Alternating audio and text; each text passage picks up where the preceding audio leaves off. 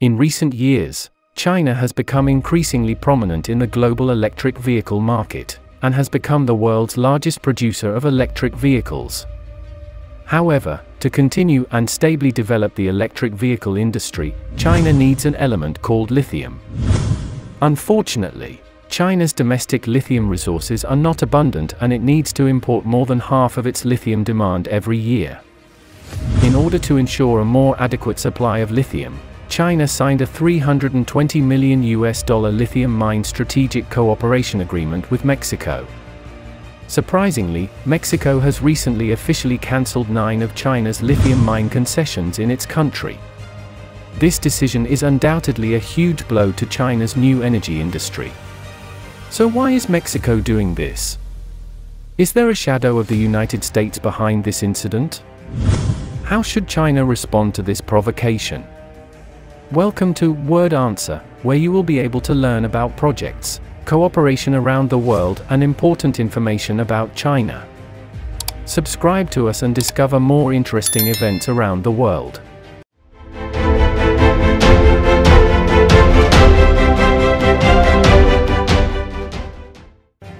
Ganfeng Lithium is one of the largest producers of lithium products in China, and one of the largest holders of lithium resources in the world.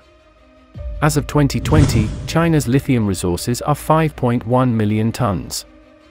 However, China consumes 100,000 tons of lithium resources every year, and this amount is still growing year by year.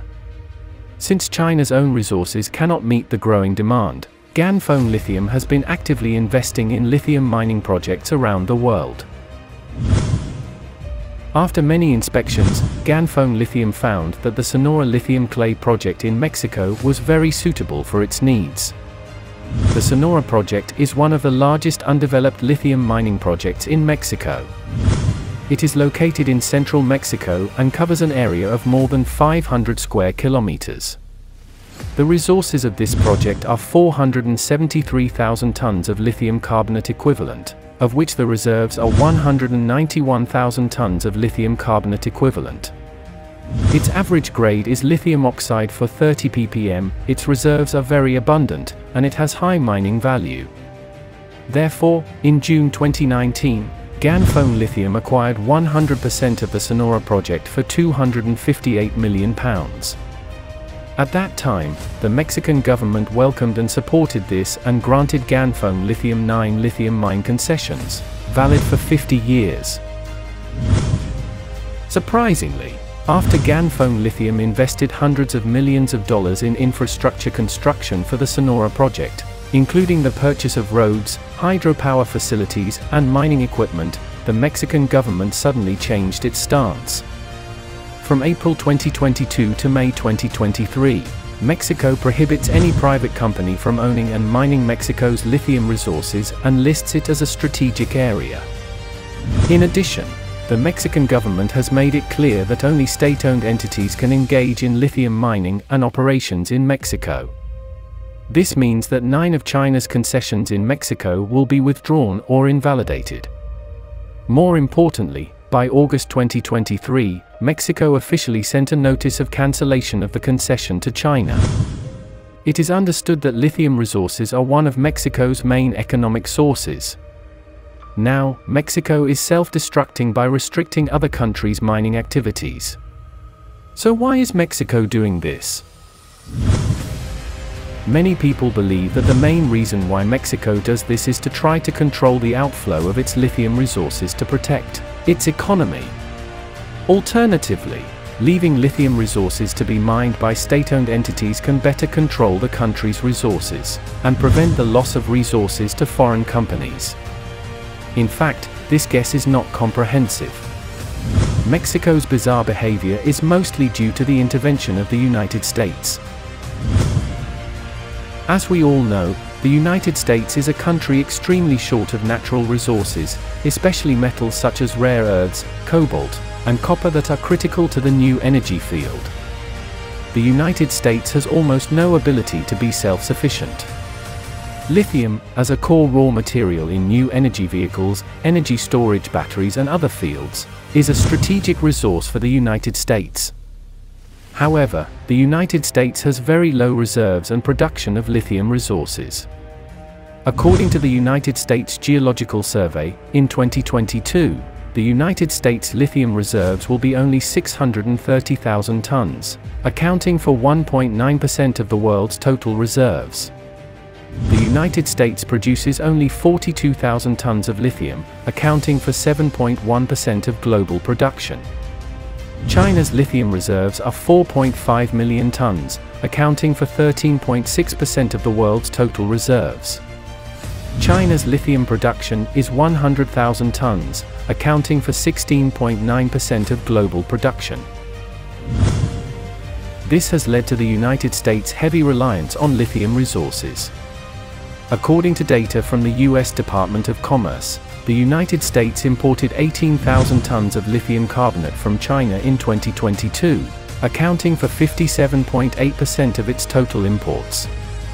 It imported 9,000 tons of lithium carbonate from Argentina, accounting for 28.8% of its total imports. China and Argentina are exactly where Ganfeng Lithium's two most important overseas lithium mining projects are located. This means that if Ganfeng Lithium successfully develops and constructs lithium mine projects in Mexico and Argentina, it will greatly increase China's influence and voice in the global lithium resource market. At the same time, it will also weaken the competitiveness and security of the United States in this field. Therefore, the United States has sufficient motivation and reason to intervene in, or influence the mining policies of countries such as Mexico and Argentina to prevent, or restrict the investment and development of Chinese companies such as Ganfeng Lithium in these countries. In fact, the United States has already made a lot of efforts in this regard. For example, in October 2022, the United States signed a memorandum with Australia, India, and Japan to establish a rare earth supply chain network and reduce dependence on China's rare earths. In January 2023, the United States and Canada also signed a Memorandum of Understanding aimed at strengthening cooperation and trade between the two countries in the field of key minerals, including new energy-related minerals such as lithium. As one of the most important allies of the United States in Latin America, Mexico and Argentina have close economic and security ties. Mexico is one of the United States' largest trading partners, and the two countries have close economic cooperation. Argentina has profound historical and cultural ties with the United States, and is one of the most important strategic partners of the United States in South America. Therefore, it is understandable when mining policy changes in these two countries are unfavorable to China. It is worth mentioning that this is not the first time Mexico has broken a treaty with China. In June 2013, Mexico planned to build a high-speed railway connecting Mexico City and Querétaro. China won the contract at the time, but just three days later, Mexico cancelled the cooperation between the two countries and rebid for the high-speed rail project. Mexico's reversal caused huge losses to China, which had already spent millions of dollars on site surveys in the first bid. Despite this, China did not complain and went ahead to prepare for a second bid, and won again. Surprisingly, Mexico once again broke the contract citing economic problems and decided to suspend the high-speed rail project indefinitely. Regarding this incident, China eventually requested compensation from Mexico through legal procedures. Unfortunately, China only received 8.1 million yuan in compensation, which can be said to be a huge loss compared with previous investments. In response to Mexico's repeated breach of contract, China decided to fight back. For example, China directly suspended imports of Mexican corn. It is understood that one of the main economic pillars of Mexico is agriculture, and corn occupies an important position in it. Every year, Mexico produces more than 20 million tons of corn, of which about 8 million tons are exported to China. It is estimated that China's suspension of 8 million tons of corn imports will cost Mexico up to $300 million per year. Not only that, China has also made it clear that it will scrutinize Mexican agricultural products more strictly. If any product quality is found not to meet its import standards, China will resolutely return these products. Statistics show that Mexico's annual exports of agricultural products to China reach 13 billion US dollars. Once this important order is cancelled, it will have a profound impact on Mexican agriculture and may even be a devastating blow. China's decision not only highlights its strict requirements for partners, but also reflects its emphasis on quality. In today's increasingly deepening globalization, cooperative relations are no longer just simple exchanges between countries, but involve the interests of both parties and even the whole world. China's actions undoubtedly sound a warning to those countries that do not keep their promises in cooperation and exchanges. This video ends here. Do you think these measures in Mexico are behind the instructions of the United States? Do you think China's counterattack is correct? Welcome to leave a message in the comment area to share your thoughts and feelings. If you like the content of this issue, please recommend it to your friends so that more people can see this video.